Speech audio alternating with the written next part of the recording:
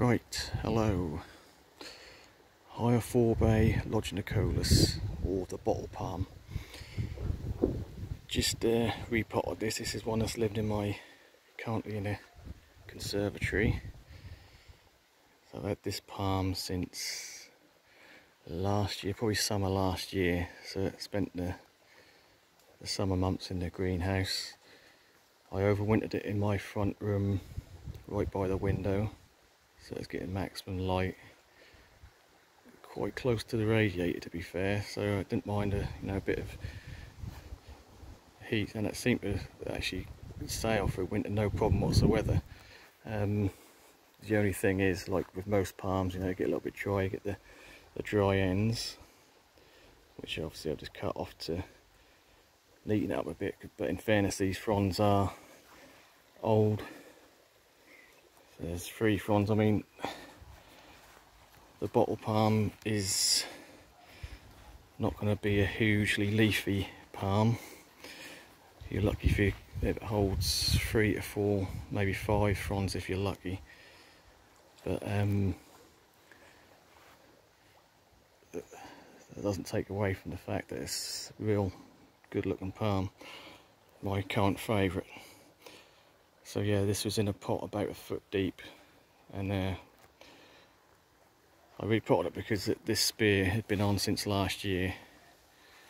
I noticed it's only starting to open so that's either lack of water or lack of root space.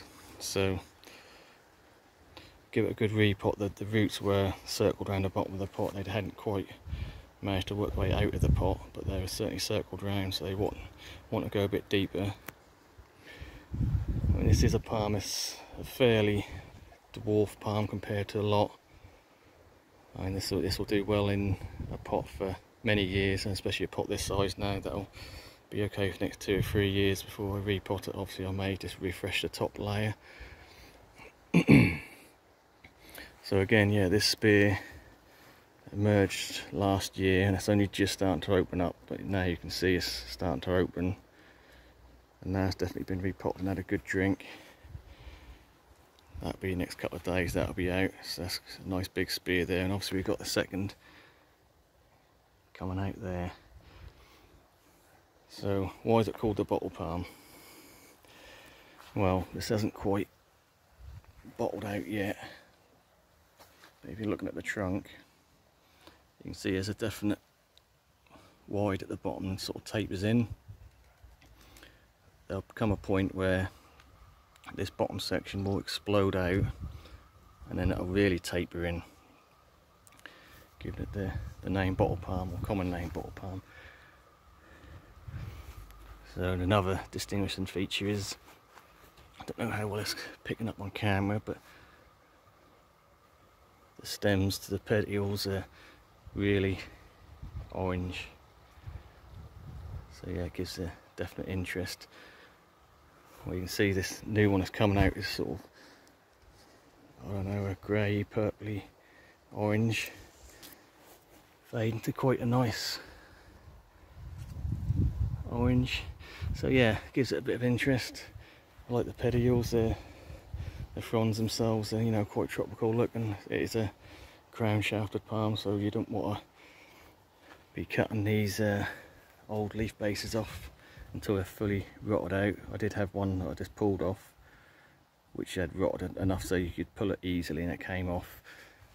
There's, uh, give you an example, one this side which is, you know, at soil level that will rot off eventually and you can just pull that off by hand but I have to cut this one back a bit and then yeah you definitely don't want to pull them off because you could uh, definitely stunt or damage the, the palm you can see this is an old leaf base here which is obviously the frond's been cut off sort of died back to this point but it's still really green there. So you, it's not like a banana where you can just peel it back and peel it back and no problem you, you leave that until it rots off.